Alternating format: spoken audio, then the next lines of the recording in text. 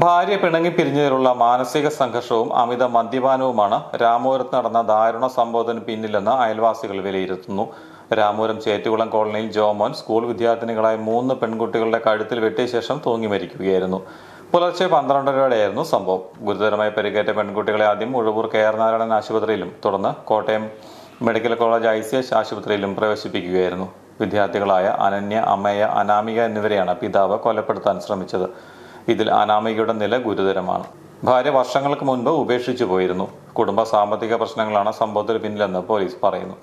വെട്ടേറ്റ കുട്ടികൾ സമീപത്തെ ബന്ധുവീട്ടിൽ ഓടിയെത്തി വിവരം അറിയിക്കുകയായിരുന്നു. സമീപവാസികൾ എത്തിയപ്പോഴേക്കും ജോമാൻ വീട്ടിൽ നിന്നും രക്ഷപ്പെട്ടു. തുടർന്ന് നടത്തിയ തിരച്ചിലിലാണ് പുലർച്ചെ വീടിന്റെ വെന്റിലേഷനിൽ തൂങ്ങിയ നിലയിൽ മൃതദേഹം കണ്ടെത്തിയത്.